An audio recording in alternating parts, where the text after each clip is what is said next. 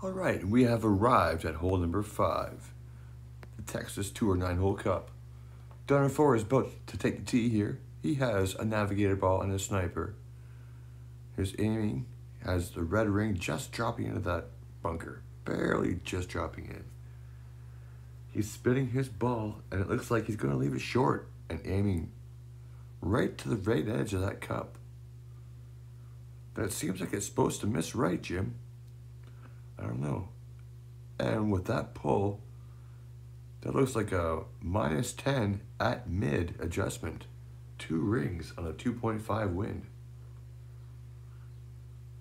Well, he's on tour and we're here in the commentator booth.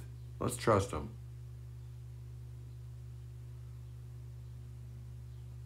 He hits a perfect ball. We'll see if he was right about that. Oh my goodness, Jim. Why do we ever doubt? I will say something though, just observing from the booth.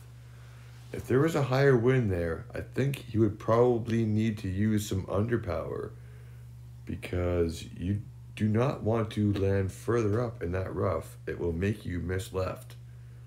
So he was lucky to have a nice low wind there.